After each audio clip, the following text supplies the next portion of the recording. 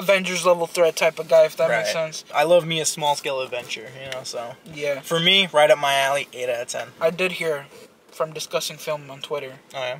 that Indiana Jones is confirmed for Avengers Secret Wars. Dude, really? Yeah. Oh my god, that's oh, awesome! Cocaine Bear too. Coca- I saw that. Cocaine, Cocaine Bear, Bear. yep. Cocaine, Cocaine Bear Bear. and Indiana Jones, dude. Um, that's gonna be a big one. Fucking who else? Who else? Morbius. Morbius. Morbius. Morbius. Soups. Soups. Soups. Soups. Yep, yep, yep. Um, Um, you know who they're bringing back? Who? Jared Leto Joker.